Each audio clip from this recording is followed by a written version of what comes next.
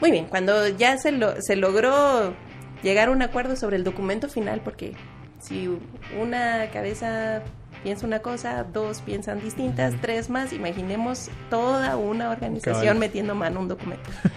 en fin, fue un poco duro, eh, pero al final se acordó en cada una de las organizaciones y estaban de acuerdo con el borrador final. Eh, todas las organizaciones al final dijeron sí y se presentó al gobierno de Estados Unidos y hay que cruzar los dedos.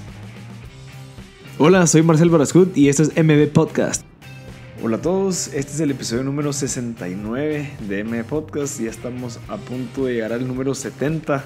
Es algo que que a veces me cuesta un poco creer, pero gracias a todos los que han estado pendientes y que han estado compartiendo pues todos los episodios y ya han como que dando, le han dado valor a, también a otras personas que no conocen el podcast a recomendarlo. Así que muchas gracias. En este episodio conversamos con Alejandra Reynoso, quien es ahorita pues la vicepresidenta del consejo directivo de la CCNSO o en inglés es Country Code Names Supporting Organization. Interesantísimo el tema que hablamos con ella. La idea era grabar un podcast de emergentes, pero creo que terminó siendo un, uno de M Podcast U porque nos dio una cátedra de todo lo relacionado con páginas web, IPs, hosting, dominios y entre muchas otras cosas. Que creo que es importante que lo entiendan porque el futuro, pues al final viene ahí. Así que hay que tenerlo en, en su mente pongan mucha atención porque lo logramos desarrollar de una manera super basic para que la gente pudiera entenderlo la idea del Country Code Name Supporting Organization es lo, que buscan es lo mejor para los dominios de cada país. O sea, buscan eh, juntarse en todos los países, ver cómo se puede, digamos, en la parte legal, en la parte de, de, privacidad y demás. Están luchando por los derechos de cada país en este mundo de dominios y de Internet. Al final, un dominio es un nombre exclusivo en el Internet que está almacenado y categorizado según el país. Digamos, aquí en Guatemala tenemos el punto GT, que lo maneja la Universidad del Valle, que ella pues obviamente fue parte, partícipe de, desarrollar eso. Entonces tenemos de que dentro del país ya tenemos nuestros propios dominios. Creo que lo estoy enredando un poquito y espero que Alejandra se los desarrolle de una mejor manera en el episodio. Así que interesantísimo el tema, pongan mucha atención y espero que les guste. Les recuerdo que eh, nuestro patrocinador Aeropost, pues obviamente está buscando la facilidad para sus clientes, eh, dándonos una plataforma en donde nosotros podemos encontrar cualquier cosa en internet. Solo le ponemos eh, copy al link, lo pegamos en su página y nos da un precio ya puesto aquí en Guatemala. Y si en dado caso no te gusta, pues lo puedes devolver. Así que métanse a www.ariopost.com para que le echen un ojo y pueden traer cosas por internet. Estoy seguro que va a ser mucho más barato que comprarlo aquí en Guate. Así que espero que les guste. Les recuerdo que el 12 de septiembre es el próximo Startup Grind. Es el último episodio del primer chapter de Founders. Luego en octubre ya lanzamos el próximo episodio que hablamos de otros temas con otros invitados, pero les recomiendo que vayan a este que va a estar buenísimo con Gabriel Salazar, el fundador de Biorgani, que es uno de los episodios, si nos toman el 8 de mi podcast, por si lo quieren escuchar. Así que gracias a todos los que están escuchando, espero que les guste y cualquier comentario y si saben de alguien que le pueda interesar, compartirlo. Así que gracias y disfrútenla. Eh, gracias por estar aquí en el estudio M Podcast. Este es otro episodio. Va a ser interesante porque vamos a empezarlo en formato M Podcast U. Pero estoy seguro que vamos a tocar temas de cómo fue que llegaste a la posición en la que te encontrás ahorita. Entonces puede ser que toquemos temas de emergentes, que es el nuevo segmento. Pero Alejandra, contame un poquito y que hiciera desarrollar de que a veces nosotros al momento de pensar en Internet nos imaginamos solamente YouTube, Facebook, eh, Instagram, como que estas plataformas que están bajo toda esta red que existe. Entonces, tú estás a cargo de, de bueno, estás en posiciones donde tocas temas importantísimos que son lo que, que está como arriba de estas plataformas. ¿Me podrías explicar un poquito qué es lo que haces y dónde empezó todo esto? Bueno, eh, yo me dedico a lo que es el mantenimiento de los sistemas de información del registro de dominios.gt. Okay. Entonces eh, veo el que todos los servicios estén funcionando correctamente, que los servidores estén configurados correctamente, que estén actualizados, cualquier, em, no sé, nueva amenaza que surja respecto a algún tipo de eh, potencial ataque a un servidor por alguna debilidad, ya sea de sistema operativo, de procesador, de lo que sea, también ver cómo mitigarlo o resolverlo. Eh, y bueno, ese es como mi mero rollo del punto GT. Pero también, bueno, me dedico a dar clases en la universidad de programación y em, me dedico a hacer el vínculo eh, con eh, organizaciones internacionales. Ok, siempre enfocadas en la parte de los dominios y nombres. Exactamente, siempre enfocada en Internet. ¿Cómo funciona, digamos, la estructura de, ok, ¿qué, está hasta arriba del Internet? O sea, está, están, ¿cómo explico esto? O sea, el dominio, ¿en qué etapa está dentro de todo el proceso del Internet? Ok, bueno, eh, los nombres de dominio surgen por la necesidad de que los seres humanos nos podamos recordar de un identificador. Así como eh, actualmente, bueno, esto ya no se da muy seguido, pero antes sí manejábamos las agendas con los nombres de las personas y a la par su número de teléfono para poderla llamar. Entonces ahora el el nombre de dominio lo que hace es que nos podemos recordar el nombre de una página web en lugar de la dirección IP en donde está alojada dicha página web. Dirección IP 193.010, no sé, es un montón de números. Exacto, porque cada, digamos, para las computadoras siempre es mucho más fácil eh, manejar números. Entonces, al asignarle un identificador único a un servicio, eh, ponerle un número es fácil, pero para los seres humanos los números no son fáciles, entonces por eso necesitamos nombres. Y lo que hace el registro de dominios, en particular del punto .gt, es asociar los nombres que terminan con punto .gt a estas eh, direcciones. Ok, y este punto .gt comenzó en 1992, si no estoy mal. Correcto, en esa fecha fue delegado a la Universidad del Valle y quien lo vio fue, bueno, el precursor de, todo esto, que fue John Postel. Ah, ah bueno, ah, antes. Ah, o sea, John Postel fue el que empezó con, con el tema de los nombres de dominio eh, y él fue quien le escribió al ingeniero Luis Furlan, quien sí fue el, eh, quien trajo Internet a Guatemala. Y se comunicó con él y le dijo, bueno, ya que estás interesado en estas cosas extrañas entonces que eran Internet, ¿por qué no eh, te encargas del punto GT. Y entonces él dijo, bueno, pero que no, no, solo así, ¿verdad? Que, que, hay, que, que, es necesario para eso. Y entonces le dijo, es muy sencillo, hay que sol mantener eh, el nombre único, o sea, no se pueden repetir. Y debe de poderse delegar eh, libremente, o sea, las personas deben de poder tener acceso. Entonces, listo, con una base de datos que evita que se dupliquen eh, se resuelve el tema. Entonces, así en muy breve fue como comenzó el... ¿Y cuál, de qué sirve la, o sea, de qué sirve tener un punto com punto gt, digamos? O sea, ¿para qué me sirve a mí como empresa tener un punto com punto gt? Eh, bueno, ah, insisto, ahora que ya el Internet está más avanzado, eh, por ejemplo, si uno está en Guatemala y está buscando algo en Google y Google sabe, porque todo lo sabe Google, que uno está en Guatemala, va a buscar más rápido páginas del país que páginas fuera del país. Pero el funcionamiento es exactamente el mismo que cualquier otro nombre. O sea, yo me podría meter a Google y poner www.google.com.gt y es mucho más fácil para Google encontrar páginas de Guatemala que si yo me meto en www.google.com. Independientemente de si entramos a la ah, página exacta específica de ah, google.com com.gt porque ellos redireccionan y... pero digamos en, en, el término de que yo compro un dominio digamos marcelbarascut.gt o .com.gt ¿para qué sirve ese punto .gt? o sea ¿qué beneficio me da a mí tener un punto .gt si puedo tener solo un punto .com? Bueno, e, ese es el, bueno, el beneficio principal es por los buscadores, que es lo que la gente normalmente eh, utiliza. El otro es, bueno, el servicio al cliente, ya ah, que como nos como si tenemos oficina en Guatemala, tenemos eh, atención en español personalizada. Eh, entonces, ese es el beneficio de si lo tengo fuera, me tengo que comunicar con alguien en, en, el exterior, con suerte en inglés. Okay. Entonces, el beneficio es, aquí estamos y somos un servicio 100% okay. Chapín. Y entendí, entonces, digamos, digamos GoDaddy, que es el más famoso, digamos, de dominios. Pues, que yo conozca, que creo que es el más famoso es similar el servicio que nosotros ofrecemos aquí de punto .gt al de ellos, porque yo compro mi dominio con ustedes. Más o menos, es que ahí estamos hablando de entidades un poquito diferentes, porque GoDaddy es un registrar. Ah, ok. No es un registro. Ok. Entonces, es una estructura un poco, eh, ¿cómo decirlo? No, no, necesariamente complicada, sino que tiene varios actores. Entonces, los registros eh, son únicos, o sea, ellos no se pueden repetir, digamos, solo hay un registro para el punto GT y eso somos nosotros.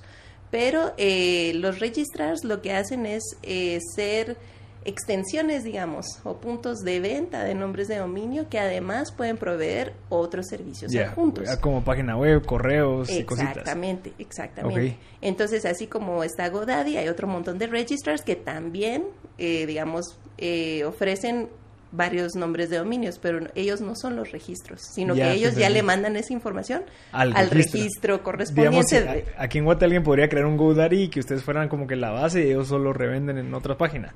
algo así. ofreciendo páginas web, ofreciendo otras cosas. Eh, sí, digamos, actualmente eh, ya tenemos eh, lista la plataforma de forma técnica para que en un futuro podamos conectar a, formalmente a estos eh, registers. Todavía no lo podemos hacer porque el, eh, el departamento legal está revisando que, que el contrato y todo esté como debe de ser. Y cuando eso se su- suceda, entonces sí ya se podrían pegar incluso a nuestra plataforma y hacerlo de una manera más fácil. Y escalable, ajá. Ajá. Ahorita igual lo hacen. O sea, vendrá alguna empresa X y que le ofrece a alguien una página web con su nombre de dominio y todo. Y entonces lo que ellos hacen es que vienen con nosotros, a nosotros eh, no- eh, adquieren nombre de dominio y ya se lo trasladan al cliente el paquete completo. Ok. Mira, y, y, eh, si quieres eh, empecemos un poquito de tu historia. ¿Cómo fue que tú paraste y- en estas posiciones de ahorita? O sea, ¿siempre te apasionó esto? ¿Cómo fue que, que llegaste a tener este, o sea, con- no control, pero digamos esta responsabilidad de que todo esté funcionando bien de un país casi entero? Eh, sí, cuando uno lo pone así ya se- da un poco de nervios porque definitivamente es una responsabilidad Ajá. muy grande. Eh, bueno, y pues yo empecé estudiando en la Universidad del Valle Ingeniería en Ciencias de la Computación. Eh, ahí empecé a trabajar en el Departamento de Ciencias de la Computación cuando el ingeniero Furlan era el director del Departamento de Ciencias de la Computación. Estuve ahí varios años. Eh, después, eh, digamos que la academia ya había explorado todo lo que había que explorar ahí y entonces tenía curiosidad de hacer algo más. Y entonces se lo comenté a él y me dijo, yo tengo un proyecto por ahí en el Centro de Estudios de Informática Aplicada y de repente le interesa, ¿por qué no hablamos de eso? Y yo, bueno, está bien. Y entonces ya me dijo de los nombres de dominio, eh, del punto GT y confieso que en su momento todo sonaba como abstracto, así como que no, no, lo, no lo asimilaba muy bien y yo dije, ok, esto me gusta. Ya me explicó lo que yo tendría que hacer, que era lo de los sistemas de información, que estaban un poco viejitos, había que renovarlos, había que mejorarlos, ponerles y quitarles y de todo. Entonces dije, ah, bueno, esto me gusta. Y entonces eh, fue cuando me trasladé del Departamento de Ciencias de la Computación al registro de dominios. Ok. Y mm, lo primero que me dijo, esto fue en el año 2011, fue que aplicar una beca. Y yo, ok, ¿qué es esto? Y entonces era una beca para ir a una de las reuniones de ICANN. Ya. ¿Y Can, me puedes decir las siglas? Es eh, Internet Corporation for Assigned Names and Numbers. Esta es la corporación que surgió eh, ya en el 98, si no me equivoco, eh, para de alguna manera tratar de administrar sin controlar el Internet, porque el Internet dio un boom así como muy rápido y entonces todo empezó a, a crecer muy rápido. Entonces esto era más como una plataforma para que la gente se pueda reunir y conversar y ponerse de acuerdo. Sí, compartir información. Exactamente. Entonces, eh, muy bien, yo apliqué, eh, me salió la beca y me mandan a Singapur. Ok. Confieso que también era la primera vez en mi vida que viajaba sola tan lejos. Pero bueno, me fui a Singapur, me dieron toda la inducción y ahí fue donde conocí esta organización que se llama CCNCO, que las siglas significan Country Code Name, Supporting Organization. Organization, Eso. correcto, ajá. Ajá. que es una organización que existe dentro de ICANN para que todos los punto país se Ajá. reúnan y discutan lo que quieran discutir. ¿Qué discuten? ¿Qué discutimos? Ajá, ¿cuáles, cuáles, cuál- ¿cuáles son las luchas, digamos, en ese nivel? ¿Qué es lo que están pensando? O sea, ¿son temas de seguridad? ¿Son temas de privacidad? Bueno, la verdad, hay de todo un poco. Entonces, lo que más le llama la atención a la gente es saber qué están haciendo los demás. Ok. Digamos, eh, eh, siempre recibimos, eh, digo, recibimos porque estoy en el eh, comité que prepara la agenda de estas reuniones ahora. Y entonces en nuestras encuestas y cuando preguntamos a la gente qué quieren para la próxima reunión, siempre nos dicen, queremos saber qué están haciendo los demás en temas de marketing, en temas legales, en temas de políticas, en temas técnicos también, pero hay un área específica para eso, digamos. Existe lo que le llamamos el Tech Day y eso hay un grupo que se encarga de, de, preparar esa agenda y es aparte de la otra, porque aunque eh, son siempre de la misma cosa, los técnicos no siempre hablan de cosas legales y de marketing y viceversa. Entonces, eh, ese es uno, saber qué están haciendo los demás y cuando los demás están presentando algo que les sucedió, eh, aprovechan a hacer preguntas y cómo lo resolvieron y qué se puede hacer o en mi país lo hacemos de esta forma, a lo mejor les sirve. Y entonces es un intercambio más de cooperación. Eh, otros temas es em, cuando eh, hay cambios, pero en las políticas de ICANN.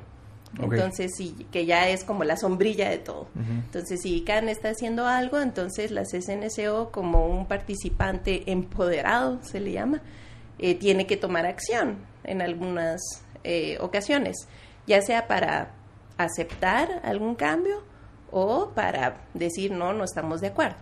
Entonces, ese sí es un proceso algo complejo. Por suerte no ha habido ocasión todavía de que se necesite usar este poder para parar algo que, no debería hacerse. Em, de ahí también se invita a um, personas de las otras organizaciones dentro de ICANN, como por ejemplo el Comité Asesor de Seguridad y Estabilidad, que ellos están haciendo siempre estudios y monitoreos de lo que pasa a nivel técnico en Internet y ellos son los que eh, sugieren y dan, eh, pues sí, consejo sobre qué cosas deberían de hacerse y qué cosas no. Okay. Por ejemplo, el último que es el que se discutió recientemente es el uso de emojis en los nombres de dominio. Okay.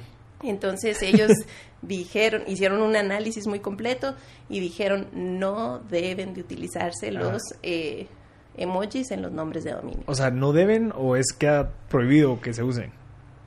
Allí hay un poquito de todo, porque ah, resulta que existen los CCTLDs, son los punto país. Ajá. Pero están que son los... Country Code Top Level Domain. Correcto. Ajá. Que es el punto GT. Ajá. El punto GT para Guatemala. Ajá, y el, por ejemplo, punto MX para México y así nos vamos.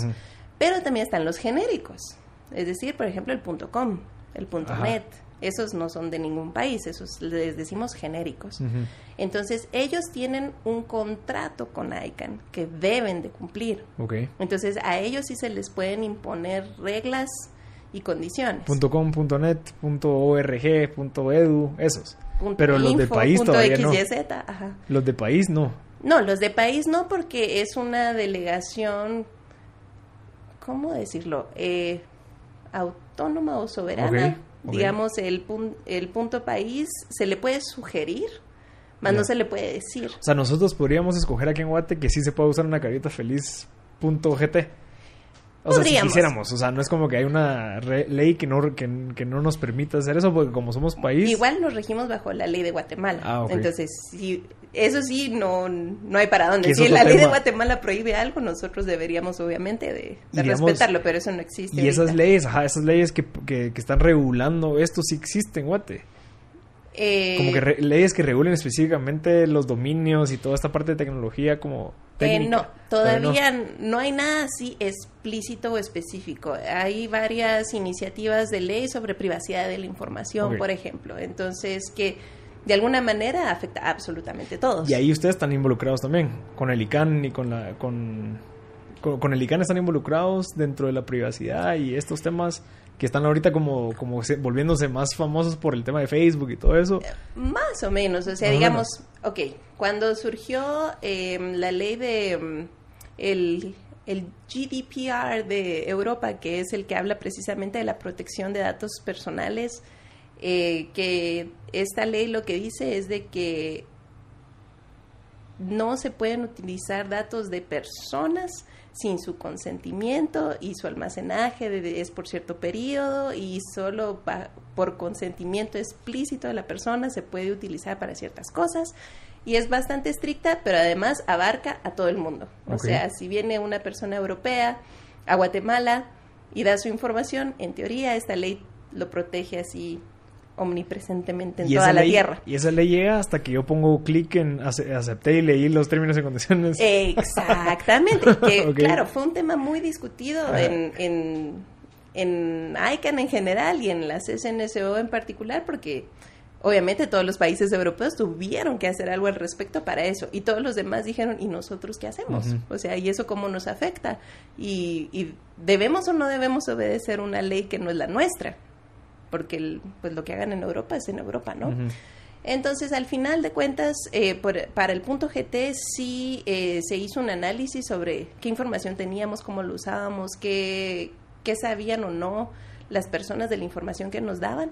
Y sí, eh, digamos, no estamos rompiendo ninguna ley en ningún lado, ya que en los términos del servicio dice qué información va a ser publicada y la persona que adquiere un nombre de dominio con nosotros está aceptando Exacto. eso con la adquisición Exacto. del nombre de dominio. Ok. Y se le recuerda como varias veces y ya sabemos que mucha gente solo El mira, 95% ya leyó los términos del servicio, quizás no lo leyeron, pero que ahí está, ahí está. Entonces, pero no es nada que, que no sepan de antemano, porque la información que nos da también eh, tenemos el, de alguna manera la obligación de publicarla por tratados de libre comercio, por ejemplo.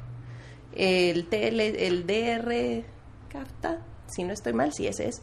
eh, existen dos artículos en particular que sí hablan de nombres de dominio. Y entre ellos está que debemos de tener una base de datos pública. Ok. Entonces, digamos, unos vienen y dicen Que no, no, muestren no. nada de información y los otros dicen tienen que entregar información y ahí sí que estamos en medio. Pero al final cumplimos con todo porque cuando la gente da su información, ha aceptado los términos del servicio, no hay ningún problema. Y del otro lado tenemos eh, la posibilidad de que la gente consulte la información de un nombre de dominio a través de nuestro sitio web. Entonces, en paz con todos. Te- Tengo dos preguntas con eso. Ajá. Ahorita, digamos que estamos a punto de entrar en la... Bueno, ya estamos en época electoral. Hay gente que, que sabe de estos temas, que está queriendo proponer algún tipo de ley o está queriendo como fortalecer ese tipo de cosas. Eh, digamos, hablando de diputados, o sea, ¿conoces alguno que esté que tenga este tipo de conocimiento para que ayude a, pues, no sé, a, a que se fortalezcan las leyes de acorde a todo esto? Porque, no sé, tal vez muy poca gente conoce de esto y entonces se hacen leyes y leyes y leyes y nadie sabe qué es lo que está pasando, entonces... Pues lo único que conozco, porque sí, eh, digamos, nos compartieron esa información, es sobre la iniciativa de la privacidad de la información.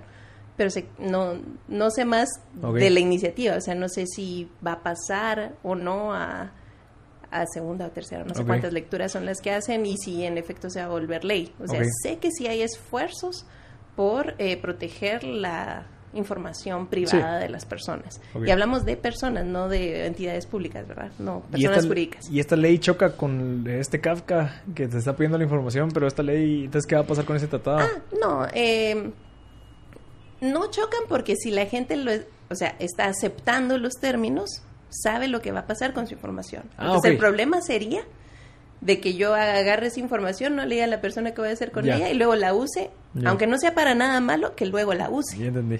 Entonces, ese sí es el problema, que la gente tiene que dar su consentimiento. y digamos, la información que nosotros tenemos en la base de datos es solo la gente que compra dominios.gt. Digamos, la de .com, nosotros no tenemos el control de esa data. No, La nosotros... tiene la gente que te metiste a la página, que es eh, otro país.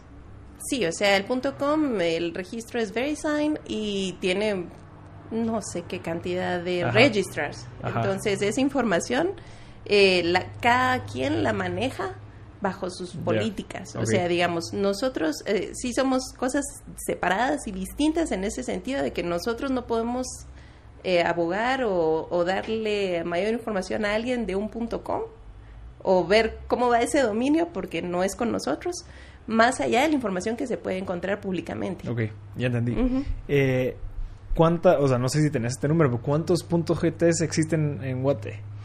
Ah, ahorita ya eh, superamos la marca de los 20.100. Ah, bueno, no es tanto. No, no es tanto. No es tanto. O sea, y llevamos, ¿qué? 20, 20 casi 30 años. Eh, 20... Sí, por ahí. Wow, ve- es como mil al año, casi. Eh, sí, el crecimiento es eh, lento y pasa por muchas razones. Una es porque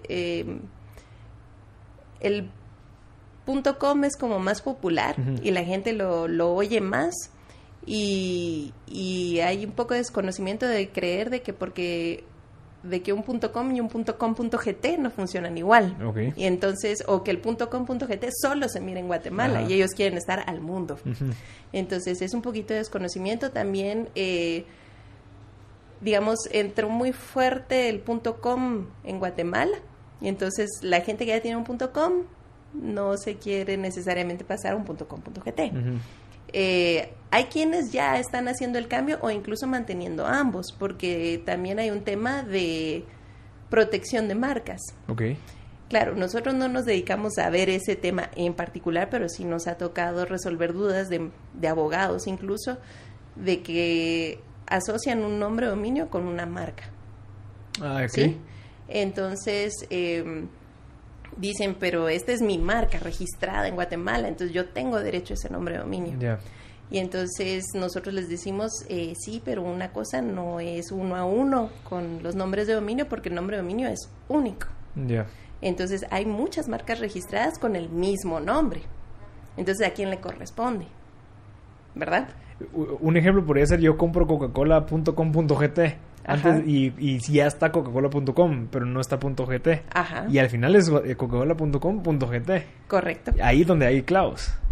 Sí, eh, digamos, mm, no solo ahí, digamos, también a lo interno. Por ejemplo, un caso muy sencillo, está eh, Gallo. Habrá quien diga, bueno, Gallo es la marca de la cerveza. Quien diga, no, gallo son los fósforos. Mm. Ah, no, gallo es una marca de jamón, de jamón, de jabón, perdón, con B. Eh, entonces tenemos tres marcas que se llaman exactamente igual para productos diferentes y por lo tanto para empresas diferentes aquí dentro de Guatemala. Entonces, ¿a quién le corresponde? ¿A la que tiene más ingresos? ¿A la que, no sé, hace algo... ¿Cómo se ha hecho eso? Eh, la política que tiene el, registro es el primero que lo toma, es el que se lo lleva. Punto. O sea, nosotros no somos juez de nada. Si quiere después.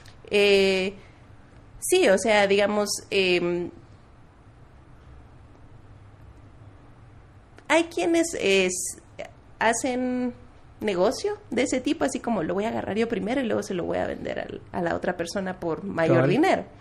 Eh, eso puede tener sus pros y sus contras y, y no es como una práctica muy, muy buena, diría yo, porque sí existe una apelación. Entonces eh, eh, tenemos un sistema de, me estoy tratando de acordar el nombre, de disputas, de resolución de disputas de nombres de dominio, que se va a la organización mundial de, no de propiedad intelectual. Ah ok. Ahí tenemos nosotros el arbitraje y entonces se presentan los casos. Así como yo vine primero a agarré digamos gallo.gt y soy la empresa de jabones. Y podría venir la cervecería y decir hey pero ese me corresponde a mí entonces pueden ir a, a un arbitraje y ver quién tiene como el derecho del nombre de dominio entonces, si viene una persona que solo lo adquiere por adquirirlo, lleva como las de perder, ¿no? Porque solo lo adquirió por adquirirlo. sí, para venderla después. Entonces, eh, no le conviene. Por, se supo de un caso, eh, creo que fue .com, pero no estoy del todo segura, de eh, había un, un señor que tenía el nombre de dominio Victor's Secret. Okay. No Victoria's Secret, sino Victor's Secret. Y resulta que era un sastre, no sé en dónde en el mundo. Y, y entonces Victoria's Secret sí quiso eh, que le dieran ese nombre porque era relacionado con su marca, y que no sé qué, que no sé cuánto, pero el señor llevaba como 8 o 10 años con el nombre de dominio y tenía su negocio legítimo y todo, y al final ganó el caso porque él tenía el derecho al nombre de dominio. Entonces ese es el tema que tenemos con los nombres de dominios y las marcas, que, que no son uno a uno, aunque sí, igual, si alguien tiene un nombre de dominio.com, mm, le traería cuenta tener los nombres de dominio cercanos a su, a su eh, geografía, digamos, si es una empresa en Guatemala y tiene un punto .com, lo lógico sería que también tuviera el .com.gt o el .gt directo, solo por protegerse para que nadie más lo vaya a adquirir. Y luego no se arrepientan. Y en términos de SEO, que ¿crees que funciona igual que un .com? O sea, al final la información que está dentro de la página. Exacto. El No nombre es- de dominio no tiene no nada tiene que ver ver. con el contenido. El nombre de dominio se puede usar tanto para una página web como para un correo electrónico o para nombrar máquinas en una red. Tiene muchos usos. Entonces, pero no va asociado a contenido. Ok.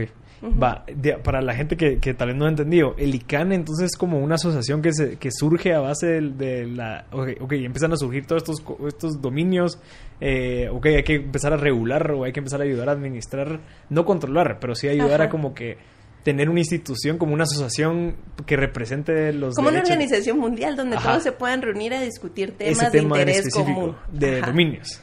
Eh, en general sí, aunque ahí también está eh, la, el comité asesor de números, Y esos números siempre, pero relacionado con, con programación, los con números... los números IP. Ok, ok. ¿Qué son los dominios? O sea, pues... Sí y no. traducido. Eh, son dos cosas asociadas más distintas, o sea, IP es una computadora. ajá. Y el dominio no es una computadora, sino que está, es un acceso a un servidor. Algo Eh, así. Más o menos. O sea, yo, digamos, yo puedo asociar el número de dominio a un número IP. Ajá. Ese número IP puede ir a una máquina, que la máquina puede ser un servidor de correos, puede ser un servidor web o, Ya. o algo parecido. Pero igual, para que yo pueda tener una página web, necesito una IP pública Ujú. A la que todo el mundo pueda acceder, a la cual voy a asociar luego un nombre de dominio para que la gente se acuerde de mí y pueda llegar a ella. Entonces tenemos los números IP y tenemos los nombres de dominio. Y ambos, pues, son muy importantes. Sí. El uno no vive sin el otro. Eh, eh, también está la- el Comité Asesor de Gobierno en, dentro de ICANN, eh, donde cada país tiene un representante que es nombrado por el gobierno para asistir a estas reuniones donde se discuten temas a nivel de gobierno. Eh, confieso que no he estado en, en una sesión completa de ello, solo cuando llegamos, digamos, los de la CSNCO tenemos eh, reuniones en conjunto y entonces llegamos a discutir temas en común. Por ejemplo, eh, algo tan sencillo como explicar terminología técnica a la gente de gobierno, Mm. porque crea mucha confusión. Y es lógico si no son los términos que manejan Exacto. normalmente. Entonces ya se hizo un glosario de qué es, por ejemplo, un CCTLD, Ok. qué es el administrador del CCTLD, y así nos vamos. Ok. Y O sea, CCTLD es punto país. ok, excelente. Entonces, digamos, el ICANN es como que la, la, la mamá, digamos, de todos los dominios. De abajo el ICANN, pues, o sea, no abajo, tal vez una rama del ICANN surge el CCNSO, Sí, que es la que ya está de los países. Correcto. Ajá. Eh, además está el servicio de IANA. Ok. Eh, es- digamos, ahí es donde están todos los TLDs, los top level domains, ya sean genéricos o punto país, registrados. Nosotros. Ah, ok. O, O, sea, sea, esa es el- la raíz. Es, esa sí es la mamá de todos. ok, o sea, Yana es la mamá de, de ICANN. Históricamente sí, porque IANA eh, surgió primero que ICANN, pero actualmente la relación que hay entre IANA e ICANN es un contrato. Ok. ¿sí? Entonces eh, surgió una nueva figura en el 2016 que se llama PTI, eh, que se me olvida ahorita el significado, que es, si no estoy mal, es Public Technical Identifiers, Ok. que es una figura que surgió para poder hacer el contrato entre ICANN y esta figura, y esa figura asume las funciones de IANA. Entonces, ¿cuáles son las funciones de IANA? Adminis- o sea, hacer el registro mundial.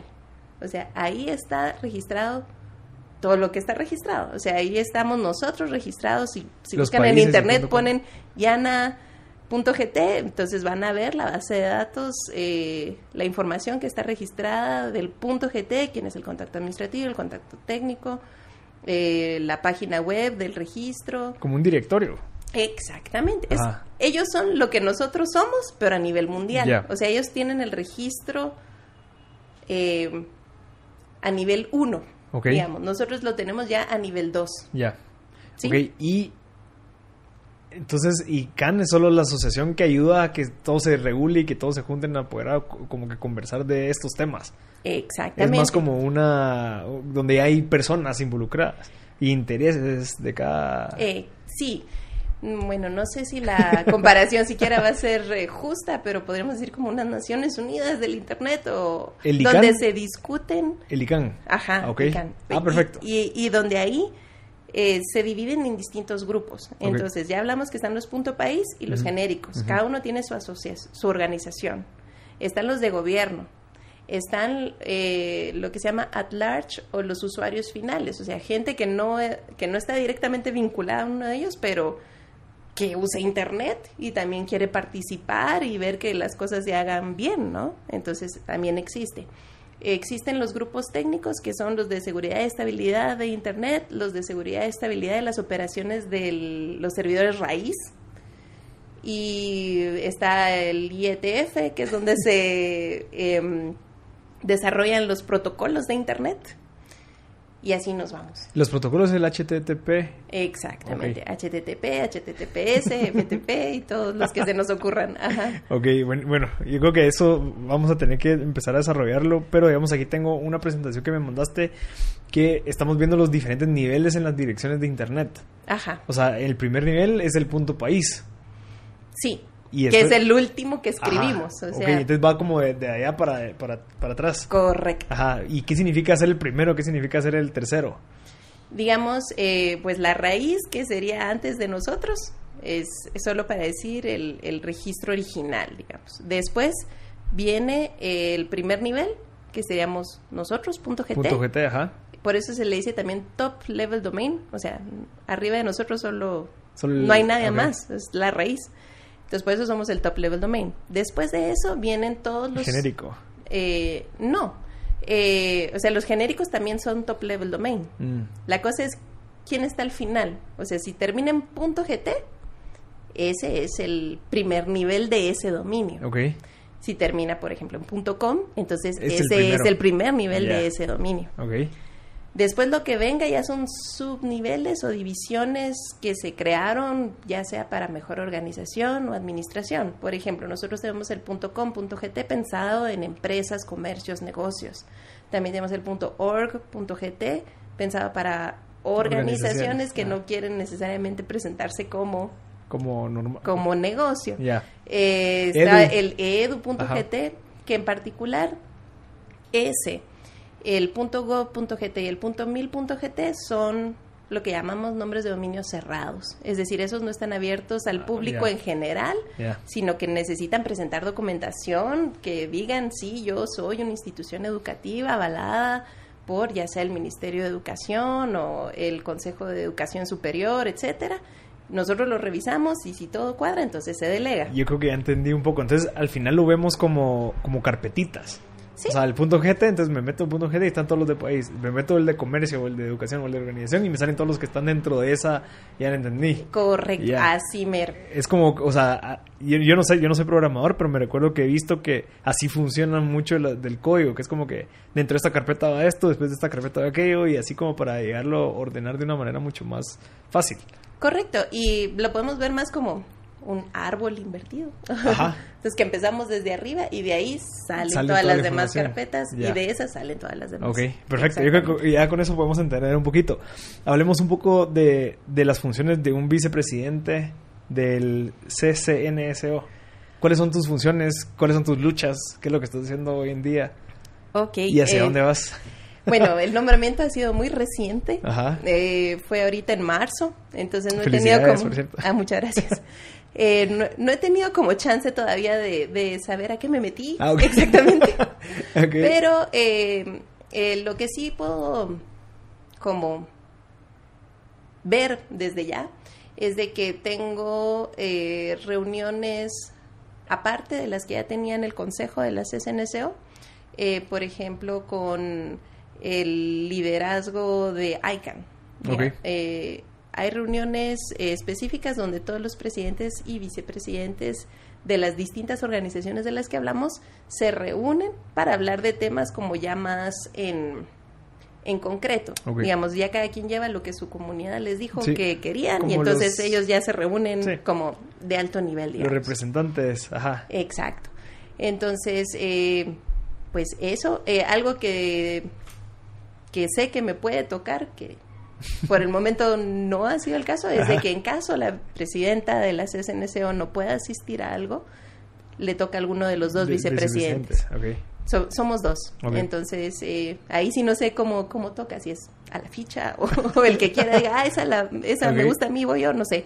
Pero esa es una de las funciones como extra. Y, em, y también una función adicional es ponernos de acuerdo, o más bien dicho, analizar los puntos que se van a discutir en el consejo previo a la reunión de consejo como sí. para ordenar ideas, organizarse bien, entender el problema y ya tener algún tipo, pues no de soluciones, porque para eso está el consejo, pero sí de propuestas, así como si a alguien no se le está ocurriendo, por lo menos tratar de ir generando eh, ideas de cómo podríamos resolver cierta situación. Ok, dentro de, bueno, para la gente que está escuchando, eh, CCNSO significa Country Code Name Supporting Organization, o sea, que es el punto GT, digamos, aquí en Guatemala. O sea, la gente que se encarga de, de esos, do- El SSNCO niveles, ¿no? es la organización mundial de los punto país. Ok, ok. O sea, donde todos los punto país Ah. se reúnen. ¿Y me podrías decir cuál ha sido la última lucha que han tenido, digamos, como organización? Que tal vez nosotros como no estamos enterados de todo eso no nos damos cuenta, pero algo que ustedes hayan logrado, una reforma o algo que nos haya servido a los usuarios finales. Tal, tal vez no reciente o tal vez algo que...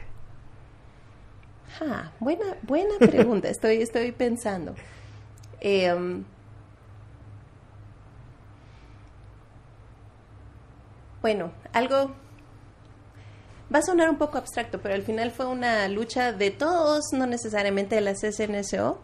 Es que, eh, digamos, antes las funciones de la IANA, que digamos que es como la que opera todo realmente a, a nivel máximo, eh, estaba supervisada por el gobierno de Estados Unidos.